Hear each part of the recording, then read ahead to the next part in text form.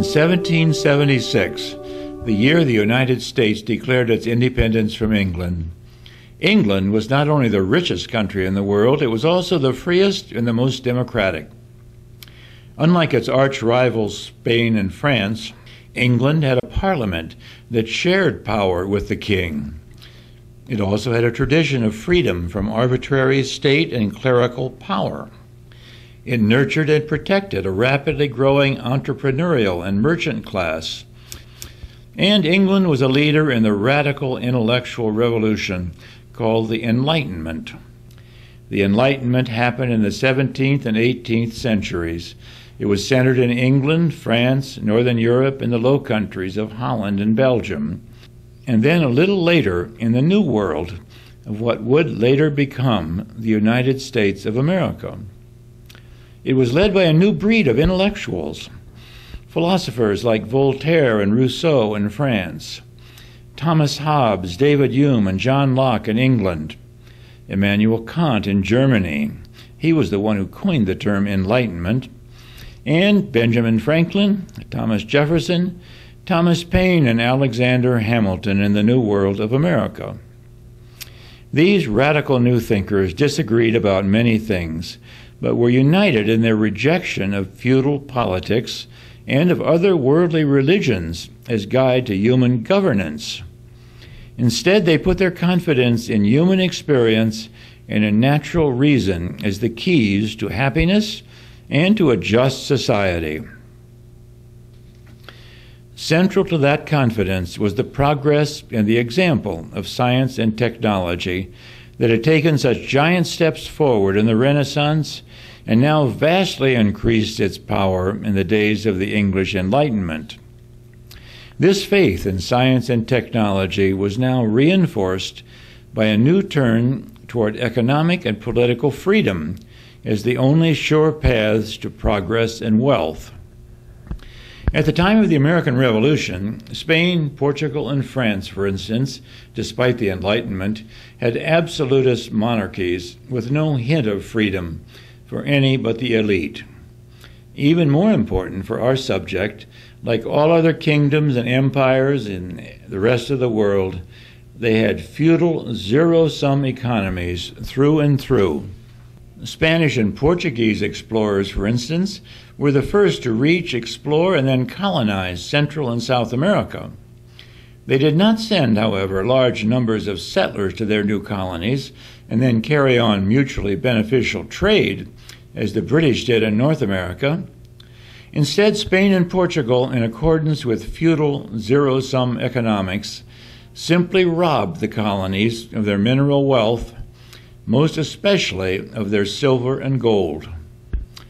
Like present day oil rich and mineral rich countries, they thought they were wealthy with this huge influx of silver and gold, and they took little or no thought to developing industry or trade. Spain and Portugal, as well as Central and South America, have paid the price of this neglect many times over since 1776.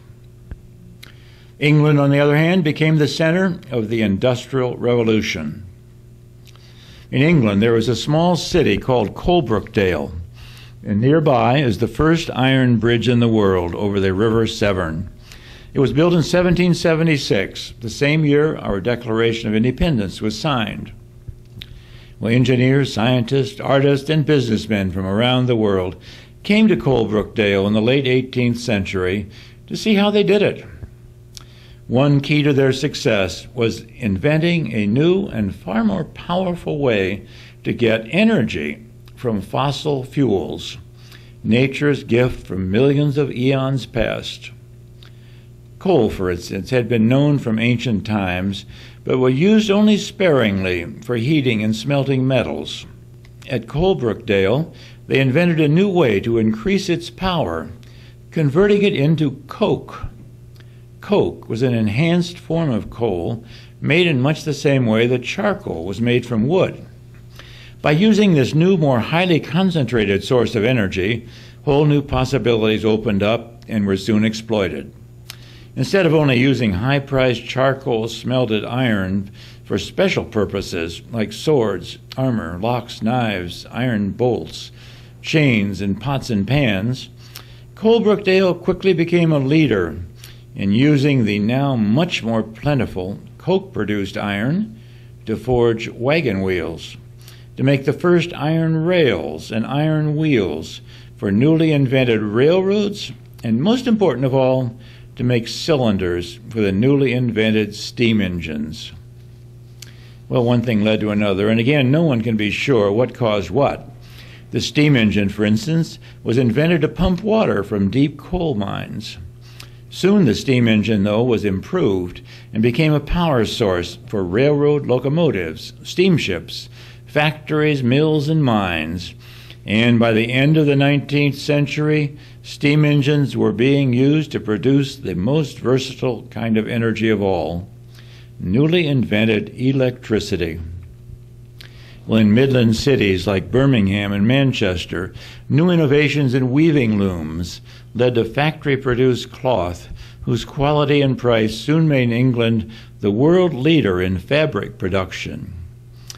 Other advances in pottery production, machine design, energy production, canals, factory construction and organization, firearms, sanitation, and medical services made England the world leader in industrial production and wealth.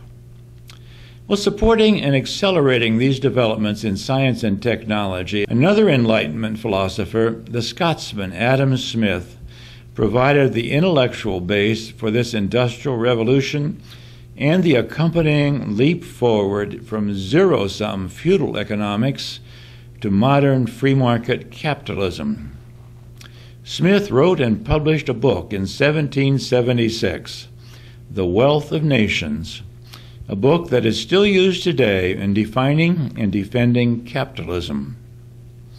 Smith returned to simple principles. Capitalism, he wrote, was based on three simple ideas self interest, specialization of labor, and free trade. If societies adhered to these principles, he said, an invisible hand would lead to a win win economy rather than a zero sum one. In other words, so long as there was freedom, free labor, free markets, and free trade, wealth for all was bound to increase. Well, to make sure there was free labor, free trade, and free markets, Smith realized that order was necessary, and this meant that government had a part, an essential part. It, the government that is, must have and enforce effective laws to protect private property, to enforce contracts, to prevent crime, and protect against foreign threats. Other than that, however, for the most part, the government should stay out of private affairs and let the invisible hand do its work. Some call it laissez faire capitalism. As capitalism and industry exploded on the world stage in the 19th century, some of Smith's optimism seemed to come true. Never in the long history of the human species had the world seen such an enormous growth in wealth and human power and prosperity, and not just for the elite, but for the 98 plus percent poor as well. Coal and iron, capitalism, and the invisible hand made the 19th century a century of rapid population growth, impressive new cities, and ostentatious new wealth. The 19th century, however, also had urban poverty, worker exploitation in dangerous factories and mines, industrial pollution, and bloody wars. Well, poverty, exploitation, pollution, and wars were nothing new. For thousands of years, 98 plus percent of the people who lived in low energy agricultural societies had always and everywhere lived with poverty, disease, slavery, pollution, and wars. As Thomas Hobbes, a 17th century philosopher in England, put it, the life of man everywhere is nasty, brutish, and short. Even the elite few who escape poverty, the kings and queens, the bishops and nobles could not escape pollution, disease, and death. Even the wealthiest human beings, the average lifespan was still only a little more than 30 years. In the 19th century Industrial Revolution, however, all this changed. The sudden new increases in energy and wealth meant that many more people could now live richer lives. They could travel more, eat better, read and write, and had many more choices about what they could do with their lives. And the average lifespan increased to over 40 years. In the United States, capitalists like John D. Rockefeller, Andrew Carnegie, Cornelius Vanderbilt, and J.P. Morgan founded whole new industries in oil, steel, railroads, and finance. They were often bitterly resented and called robber barons by labor leaders and intellectuals then and now. And true, they often did use aggressively harsh methods, and true, they did become obscenely wealthy. But it is also true that the workers in their refineries, steel mills, railroads, and offices were paid two or three times as well as workers in similar European industries, or even worse, on European peasant farms. And they were paid these higher wages not out of charity or management goodwill, but because the workers were two or three times as efficient as the workers in Europe in creating new wealth. And they were more efficient because of capitalist encouragement of technological change and innovation. They were, in fact, so much better off than European farmers and workers in the same century that people from Germany, Poland, Russia, Italy, Ireland, Scandinavia, and Eastern Europe immigrated to America in record numbers and those immigrants are the great great grandparents of most people in the United States and in Canada today. In the middle of the 19th century, a German intellectual named Karl Marx wrote a powerful critique of this new industrial capitalist world called Das Kapital. Instead of the invisible hand promoting the welfare of all, Marx claimed it promoted only the welfare and wealth of the capitalists, the owners of industry, the bourgeoisie. It left the workers, he called them the proletariat, as wage slaves. They would, he claimed, inevitably sink deeper and deeper into poverty until they revolted and took power for themselves. They would then establish true socialist utopias where the means of production were owned by the workers themselves, and production was not for profit, but for the welfare of all. Along with his English colleague, Frederick Engels, Marx wrote in the most important pamphlet ever printed, the Communist Manifesto in 1848. The communists disdain to conceal their views and aims. They openly declare that their ends can be attained only by the forcible overthrow of all existing social conditions. Let the ruling classes tremble at a communist revolution. The proletarians have nothing to lose but their chains. They have a world to win. Proletarians of all countries, unite. It sounded like a good idea to many people in Western and non Western countries, but it never worked out as Marx and Engels predicted. For one thing, their prediction that workers would sink deeper and deeper into poverty turned out to be mistaken. Due to the dynamics of capitalism itself, along with the struggles of many free trade union activists in Western countries, Instead of sinking deeper and deeper into poverty, workers became richer and richer. In fact, became middle class bourgeoisie. At the same time, workers were getting richer. Industrialized countries were also slowly and haltingly becoming more democratic. Free trade, free labor, and free markets seemed to be a good fit with freedom of speech, freedom of religion, and free elections as they began to develop in the democratic states of Western Europe and North America. In the 19th century, not without extreme violence, especially in the American Civil War, this partnership of capitalism and democracy did lead to the final extermination of serfdom and slavery in the Western world.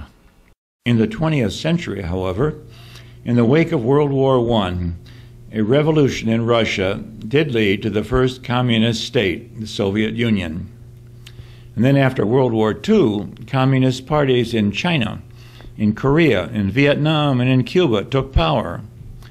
All these intellectually led parties took power in the name of the workers and the peasants, and all ended up as the most unproductive, oppressive, and totalitarian regimes in the long history of the human race.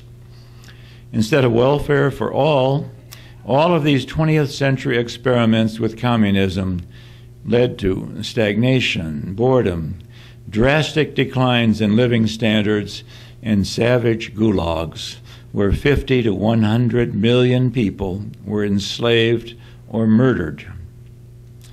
By the end of the 20th century, only a very few communist states still survived to carry on the cause. Cuba and North Korea are probably the only true believers. The Soviet Union is no more.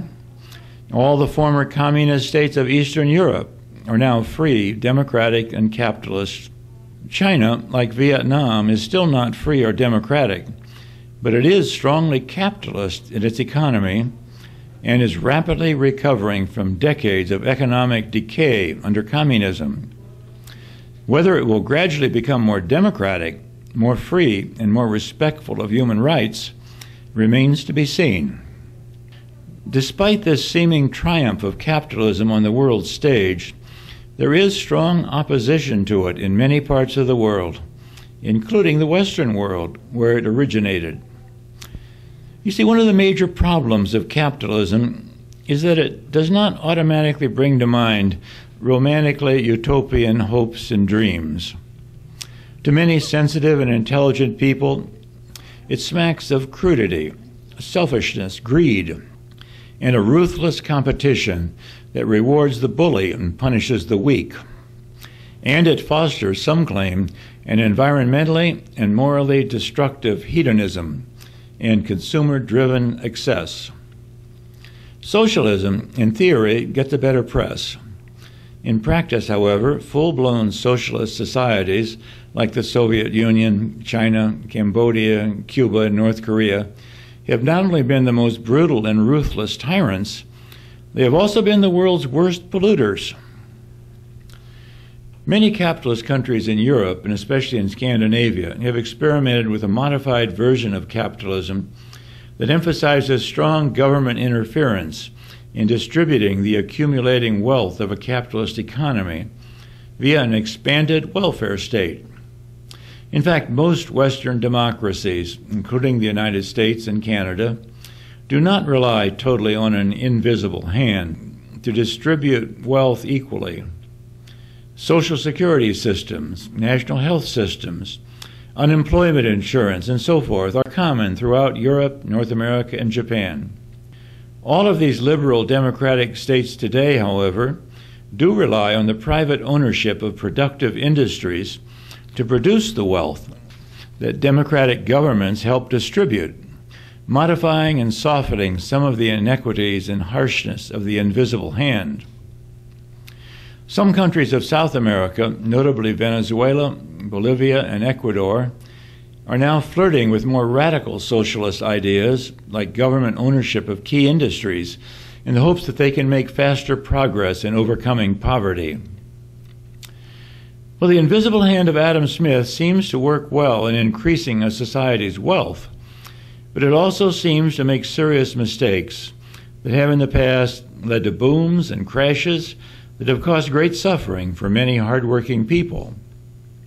It also means that individual companies and sometimes entire industries are destroyed in the competition for efficiency and innovation. Some analysts call this, quote, creative destruction, but that does not make it any more pleasant for those whose jobs or companies are destroyed. There is also deepening concern in the 21st century about non economic goods like the environment and human rights. How does capitalism, with its unprecedented power of wealth creation and creative destruction, deal with non economic goods like clean air, clear water, and productive soil? How does it deal with racial, sexual, religious, and gender discrimination? In all of these issues, religion and the arts come into play as well as capitalism and science. Private organizations, both secular and religious, and a free press have acted as powerful and effective restraints to correct problems brought on by capitalist excess. Well, finally, what about globalization? As modern liberal and capitalist democracy becomes ever more powerful and ever more common around the world, some activists in both the Western world and the underdeveloped world claim that its aggressive and rapid spread around the world, called globalization, harms both worlds by letting giant multinational corporations profit generously while doing little or nothing about poverty in the underdeveloped world. Instead, they claim globalization results in frivolous and environmentally harmful wealth in the Western world. This charge, say most economists and scientists who have studied poverty and wealth, is simply false. Globalization does lead to change, as capitalism always has, these scientists point to statistics that show enormous overall gains, however, in countries like India, China, Korea, Taiwan, Malaysia, and South Africa. Many of these countries were written off as hopeless just a few decades ago. And despite claims to the contrary, there have also been solid gains in income, agriculture, health, life expectancy, pollution control, and almost every other measure of progress in countries that were formerly communist in Eastern Europe, as well as in countries in South America, Central America, Africa, and Southeast Asia. Some countries, it is true, seem to have been left out of this progress so far. Many of these are Muslim, oil rich, but industrial, ideologically poor countries in the Middle East misleadingly rich, like feudal Spain and Portugal were with their gold and silver, but handicapped by religious and ethnic differences inherited from a thousand years ago. Some of the countries in sub Saharan Africa are also slow to progress, handicapped by corrupt governments and endemic health and environmental problems. And finally, the few still communist countries like Cuba and North Korea, handicapped by a perverse and tyrannical economic and political system. If capitalism is rapidly expanding its reach around the world, what about freedom and democracy? And is there a natural partnership between free market capitalism and liberal democracy? Well, here is a map of the world in 1800, at the beginning of the Industrial Revolution and the beginnings of modern capitalism. Countries in red were relatively free, democratic, and capitalist.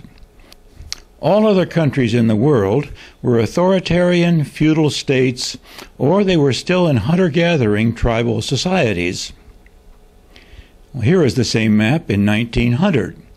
Note that capitalist and democratic countries are significantly more common. And here is the same map in the 21st century. Capitalism and democracy are not only more common, they are the norm. Worthy of note is that many smaller countries in Asia and Africa are capitalist, but they're not democratic. And the same is true of China and Russia.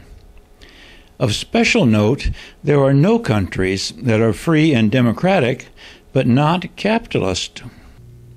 Scandinavian countries like Sweden, Norway, Finland, and Denmark are sometimes listed as exceptions because of their strong commitment to social welfare policies.